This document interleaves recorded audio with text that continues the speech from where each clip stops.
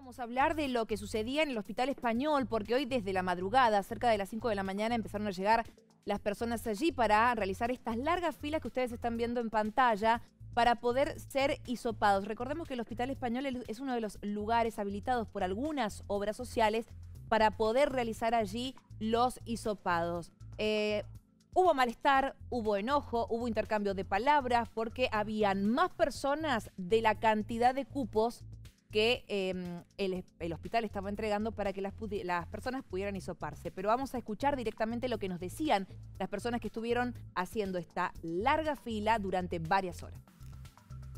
El viernes me hice atender, porque aparte soy paciente de riesgo y tuve contacto muy íntimo con un COVID positivo, con dos en realidad, y presenté algunos signos y cuando me atendí me, me dijo la chica que como era paciente de riesgo me viniera temprano porque no sabían si iban a tener solamente para para 20.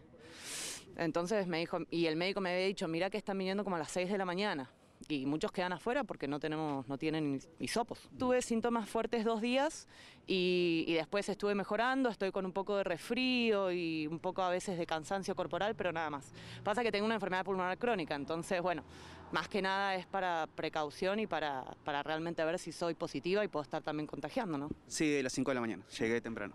Tuve síntomas, exactamente, mi obra social me derivó acá y desde acá me dijeron que a partir de lunes a las 8 de la mañana empezaban a hacer los hisopados. Nuestra prepaga nos mandan acá al Hospital Español eh, y la verdad que acá, bueno, bastante desprolijo porque te dicen que vengas un día, eh, ahí solo te revisan y después te hacen venir. Eh, la verdad que no esperábamos esto porque solamente 15 hisopados en la situación en que estamos es muy poco. Yo presenté un poco de fiebre el jueves, el perdón, el viernes y mucho, mucho dolor de cabeza. Mi esposo es persona, es kinesiólogo y es personal de la salud. Todos aislados y solamente con síntomas yo nada más. Y están atendiendo por un listado. Y dicen que van a ser únicamente 20 hisopados y acá, vos lo podés ver, hay más de 40 personas.